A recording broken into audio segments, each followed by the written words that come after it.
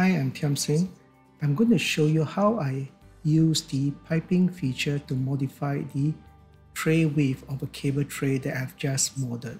Hope you find this tip useful in your work. I'm in the piping application and I'm going to select modified spec and bore for pipe. Cable trays and pipes are using the same hierarchy. And now you can see the system fetch the branch member of the cable tray just like they would in the pipe. And the bore size is 150. I use Ctrl A to select all branch member and now I will do a right click and select modify bore. I select the desired bore which is 450 mm.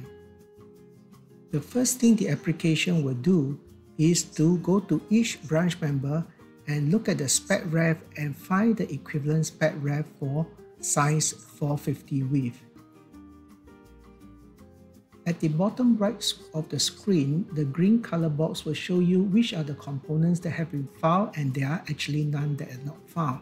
I'll go ahead and press apply to replace the existing component with the new component. Unlike piping material, cable tray material has got different width and they are not symmetric all around. So at the end of the cable tray, you can see that the cable tray get disconnected. So for this, what we need to do is just finish up the modification by reconnecting the last portion of the cable tray.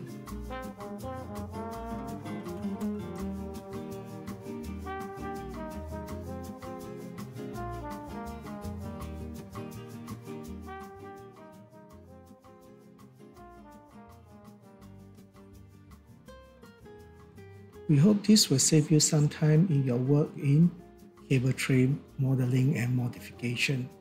See you again soon. Bye.